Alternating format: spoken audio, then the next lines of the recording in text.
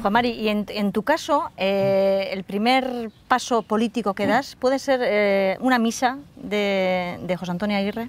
Mm, ya me acuerdo. Yo fui de Villaro a pie a misa de, de Artea.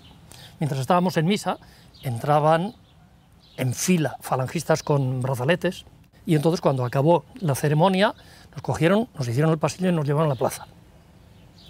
Allá nos estuvieron ensayando el cara al sol, eso sí es cierto, es la única vez que he ensayado el cara al sol y no me lo aprendí.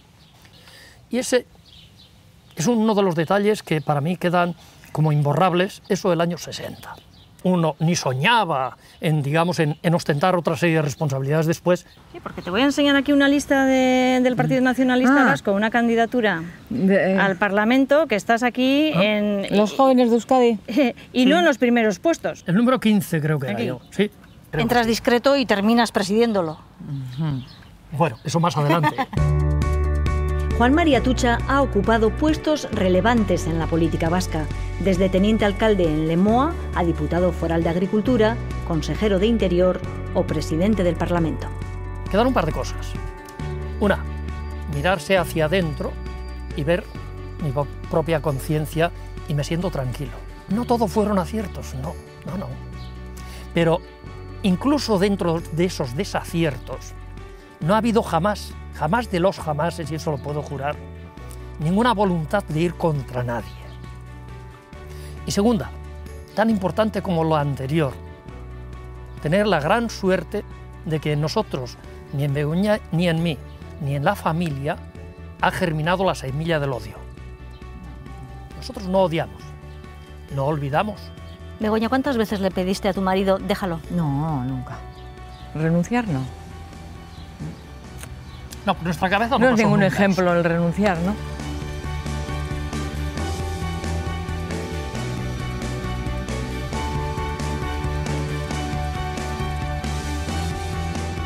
Lo que duele que uno de los que colaboró era vecino, fue el que andaba con el pañuelo. ¿Quién era el que solía andar con el pañuelo desde el hospital? sí. Avisando con un pañuelo cuando pasaba el coche, para que explotara el coche que estaba puesto en la entrada de la autopista. Yo se jugaba al futbito con mi hijo los jueves. Sí. De aquellos momentos quedan Estoy muy orgulloso de haber trabajado contigo. John. Hombre. Porque he conocido a una gran persona y me has enseñado muchísimo. Casi todo lo que sé. Eh, quiero agradecerte que siempre me hayas dejado intentarlo. Has sido una buena persona, has sido un extraordinario jefe y siempre todos los que hemos estado contigo te hemos visto aguantando lo peor con la sonrisa en la boca. Un abrazo. Cada vez que salen por ahí diciendo alguna cosilla de estas y tal, me emociona. Sí, sí. Este él también pasó, pasó momentos duros. ¿eh? Sí, Él también. Ya ha llorado. A él también le seguían. Los hijos de Juan Mari han heredado, además de alguna vivencia difícil, un buen ejemplo de vida. Cuando yo tenía 10 años era la época en poquito dura. Muy dura. En mi clase me habían preguntado, va a ver, pues por qué le querían matar. Y bueno, pues yo no sabía qué contestar, entonces pregunté en casa y eso pues eh, para ellos fue duro. Ainara, tú eres un poquito mayor que John, ¿cómo recuerdas aquella fase? Como todas las experiencias duras de la vida, como algo ejemplar, ¿no? y como una lección de vida porque yo de alguna manera en ese momento lo que entendí era que ante esa situación de amenazas eh, que lo mejor era dejarlo y que prefería tenerle a mi aita en casa antes que tener una placa en honor a quien fue. ¿no?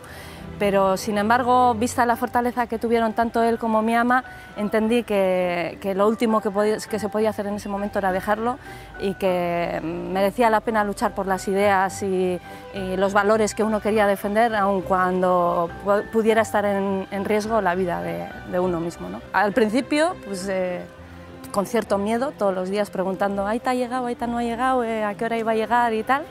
Y luego, pues poco a poco te vas habituando a la situación el tiempo ha pasado, afortunadamente aquí seguimos todos y afortunadamente la situación es otra y bueno, en el camino hemos aprendido mucho, mucho. ¿Qué diríais que, estáis heredando de tu padre y de tu madre, John?